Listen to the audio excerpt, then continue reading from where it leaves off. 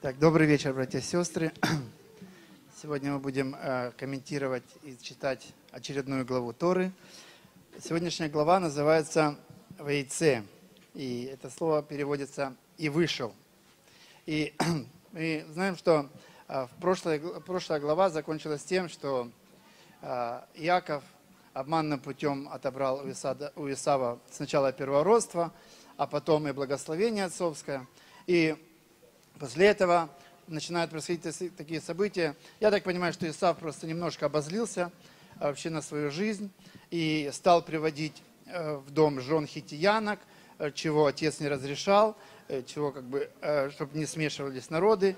И вот мать Ребека, видя все происходящее и переживая, чтобы Иаков тоже не последовал примеру старшего брата и не начал приводить в дом жен хитиянок, а, и осознавая при этом, что Исав может быть опасен для Якова, что он может затаить обиду и мстить ему а, в течение жизни, она его уговорила бежать а, к своему двоюродному брату в Харан, в Лавану, в Харан. Итак, в этой главе рассказывается об исходе нашего праотца Якова, сына Ицхака в Харан. Мы знаем, что Яков прожил там 20 лет, он много и тяжело трудился, женился, родился 12 сыновей, которые стали родоначальниками колен Израилевых. И заканчивается эта глава э, о том, как Яков возвращается из Харана в Святую Землю. Мы видим, что перед нами удивительная недельная глава, которая детально описывает путешествие веры Якова с Богом и Божью верность его обетованиям и завету с Авраамом. Э, в ней также говорится о чудесном пророческом сне – которая указывает нам ясно на Мессию. И мы с вами сосредоточимся сегодня на первом сне Якова, который называют э, лестницей Иакова или лестницей в небеса, как это написано в оригинале. В оригинале. Давайте прочитаем. Это Бытие, 28 глава, с 12 по 7 стих. «И увидел во сне, вот лестница стоит на земле, а верх ее касается неба. И вот ангелы Божьи восходят и не сходят по ней. И вот Господь стоит на ней и говорит, «Я Господь, Бог Авраама, отца твоего, и Бог Исаака. Не бойся, землю, на которой ты лежишь, я дам тебе и потомство, я дам тебе и потомство твоему. И будет потомство твое, как песок земной, и распространишься к морю, и к востоку, и к северу, и к полудню, и благословятся в тебе в семени твоем все племена земные. И вот я с тобою, и сохраню тебя везде, куда ты не пойдешь, и возвращу тебя в сию землю, ибо я не оставлю тебя, доколе не исполню того, что я сказал тебе». Иаков пробудился от сна своего и сказал, «Истинно Господь присутствует на, месте этом, а я не знал». И убоялся и сказал, «Как страшно сие место! Это ничто иное, как Дом Божий, это врата небесные». Мы здесь видим яркие и значимые параллели между путешествием веры Иакова и путешествием веры его деда Авраама. Во-первых, э, оба, из них, оба они оставили свой дом, то есть дом отца своего. Во-вторых, они оба сделали э, первую остановку в Вифиле, и э, в Вифиле там же Бог дал свои обетования им обоим, и Аврааму, и потом Иакову. И подтверждение Богом завета с Авраамом и Иакову, это служит для нас великим ободрением, потому что Бог – в этом имеет в виду именно то, что он говорит. Как и Яков, мы с вами служим Богу, которому мы можем доверить э, все свои жизни. Мы можем держаться за его обетование. И для пророческого смысла лестницы было предложено много интересных интерпретаций.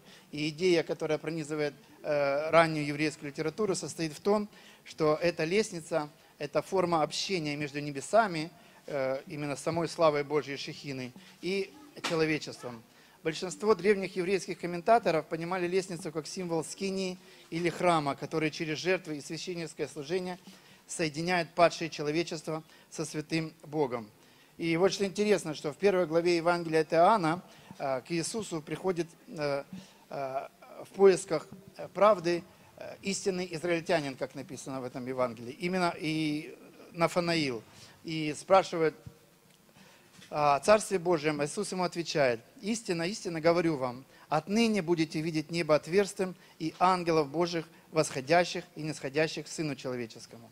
И мы видим, что слова Ису, Ишуа здесь четко указывают на лестницу Иакова. Таким образом, ответ Иешуа явным образом подтверждает общее еврейское понимание лестницы Якова. Действительно, она символизирует собой связь между небесами и землей.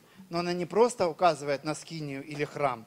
Нет, Ишуа говорит, что она указывает именно на него, что именно он является той лестницей, именно он является тем местом встречи, э, и именно он является этой связью между святым Богом и падшим человеческим. Он Мессия, тот, который, сойдя с неба, принес себя в жертву за наши грехи. И Он тот, кто также воскрес из мертвых и сейчас находится по правую руку Отца, и как наш первосвященник, который взошел на небеса.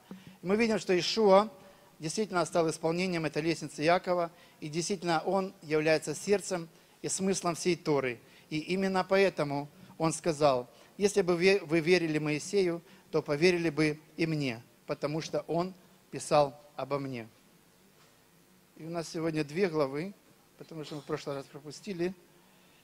И следующая глава называется «Вайшлах и послал». Она записана в Бытие 32 глава 4 стиха по 36 главу 43 стих. В этой главе мы встречаем Иакова, э, который уже находится на пути возвращения э, в землю обетованную после 20 лет тяжелого труда и мы видим, что пришло время ему вернуться, и он, э, возвращаясь домой, переживает очень сильно, как его встретит брат. Он все-таки его еще очень сильно боится, и при этом э, это мы видим, что очень непростое время было для, для Иакова, время переживаний, э, душевных терзаний, мучений. И мы видим, что в этом была небольшая проблема, потому что Иаков должен был в это время посмотреть в глаза своим ошибкам, посмотреть э, в глаза тем, что он э, неправильным поступком э, прошлого и встретиться должен был лицом к лицу со своим братом Иаковом, которым, как я уже сказал, он боялся. Но и мы знаем, что как Иакова, Иакова у Иакова, у, у многих из нас бывают в жизни моменты, когда мы переживаем трудности, когда кажется, что что-то непреодолимое стоит у нас на пути. И именно в эти моменты мы должны и можем посмотреть на свою прожитую жизнь, разобраться со своими ошибками. И, именно вот в такой момент Яков молится Богу э, в сокрушении. Бытие 32, 9, 11 мы читаем. «И сказал Иаков, Боже отца моего Авраама и Боже отца моего Исаака, Господи Боже, сказавший мне, возвратись в землю Твою, на родину Твою, и я буду благотворить Тебе. Недостоин я всех милостей и всех благодеяний, которые Ты сотворил рабу Твоему, ибо я с посохом моим перешел этот Иордан, а теперь у меня два стана. Избавь меня от руки брата моего, от руки Исава, ибо я боюсь его, чтобы он, придя, не убил меня и матерь с детьми». Мы видим, что здесь э, Иаков раскрывается, и после такой молитвы он готов встретиться с Мессией Иешуа а, лицом к лицу, поскольку он исповедал э, своими устами, что недостоин я. И дальше, через несколько стихов мы читаем, «И остался Яков один, и боролся некто с ним до появления зари, и увидев, что не одолевает его, коснулся состава бедра его и повредил состав бедра у Якова, когда он боролся с ним. И сказал ему, отпусти меня, ибо взошла заря. Иаков сказал, не отпущу тебя, пока не благословишь меня. И сказал, как имя твое? Он сказал, Иаков. И сказал ему, отныне имя тебе будет не Иаков, а Израиль, ибо ты боролся с Богом и человеков одолевать будешь. Спросил Иаков, говоря, скажи мне имя твое. И он сказал, на что ты спрашиваешь о имени моем? Оно чудно. И благословил его там. И нарек Иаков вместо ему Пенуэл. Ибо говорил он, я видел Бога лицом к лицу, и сохранилась душа моя. И взошло солнце, когда он проходил Пенуэл, и хромал он на бедро свое. Мы э, в этой встрече мы можем узнать, что тот, э, с кем боролся Яков, это был именно никто иной, как наш Господь Ишуа Мессия. И после этой встречи Иаков выходит э, измененным человеком, как и мы все после встречи с Иешуа претерпеваем определенные изменения, которые происходят с нами в дальнейшем всю жизнь. И мы видим, что после многих лет борьбы с себя, с Богом во плоти и крови, Иаков наконец сдается и готов стать Израилем, отцом еврейского народа и пережить полноту Божьих благословений, о которых говорится в Бытие 35 глава 11-12 стих.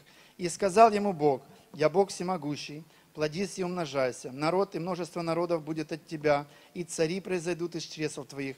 Землю, которую я дал Аврааму и Исааку, я дам тебе, и потомству твоему по тебе дам землю эту. Посмотрите, каждый из нас может сравнить себя с, Иаков, с Иаковом и засвидетельствовать, что и в нашей жизни именно в тот момент, когда мы чувствовали себя недостойными, побежденными после наших собственных ошибок, и когда мы боря- боролись с Богом долгое время, после того, как Мишуа Исия встретил нас, коснулся наших жизней, э, своей любви и изменил каждого из нас.